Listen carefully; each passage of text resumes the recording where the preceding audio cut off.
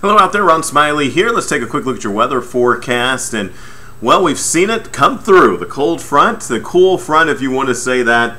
Uh, temperatures will be a little cooler today. In fact, we think we'll get back to about 83 degrees. I thought this was kind of cool.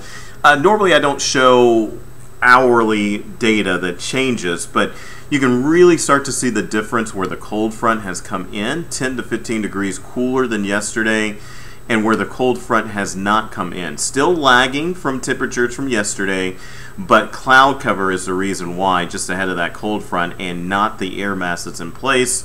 Once the cold front comes through, though, another 5 to 10 degrees is what you're dropping. Uh, overall, 83. I think we get back to 83 degrees. Will likely be after 5 o'clock that we see that temperature and the rain chances that you just saw there, they're out of here as we're heading into the afternoon. There's your forecast this afternoon 80 at 3, 82 at 5, and once again, I think just after 5 o'clock we hit that 83 degree mark. Let's head into the overnight hours.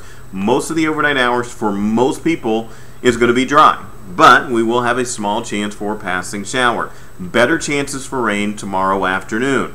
You can see that rolling through right there, including right on top of the Pittsburgh area at 5 o'clock. This is a fast moving, just kind of the front lifts very quickly and then goes back down to the south. As that happens, we will briefly see that rain coming through mainly on uh, Wednesday afternoon. There's going to be the chance for that.